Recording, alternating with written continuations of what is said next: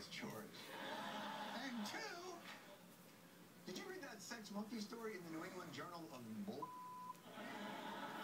I'm not expecting these kids to write the Magna Carta. You know, ABCs, one, two, threes. I think any parent can just about do that. You believe AIDS began what a guy's into the month. That's got to be worth 40% of your salary. And you do know,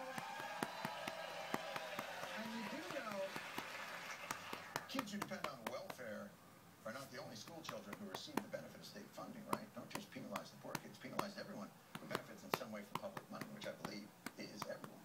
I mean, I'm tired of my hard-earned money going to police departments that protect rich kids who don't do well in school. So next time this happens, yeah, hey, 911, someone's breaking into my house.